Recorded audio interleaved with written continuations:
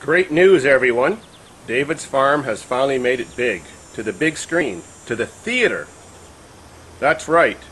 It's not all over North America yet, but it should be, and then eventually on DVD. But right now, next week, in Windsor, Ontario, it's going to be playing for its premiere opening. And if anybody wants to go, they have to pay 10 bucks and get the tickets at the door.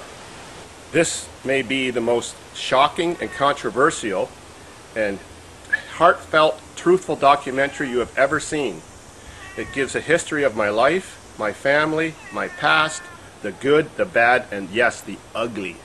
I'm not perfect, that's for sure. I'm just a lot better now.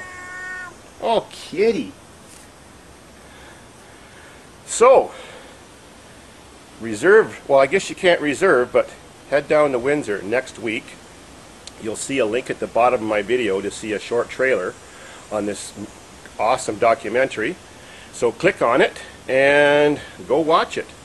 It may be coming to a city near you or in your town someday too. But if you want to see the director's cut sneak preview, that's next week. Enjoy.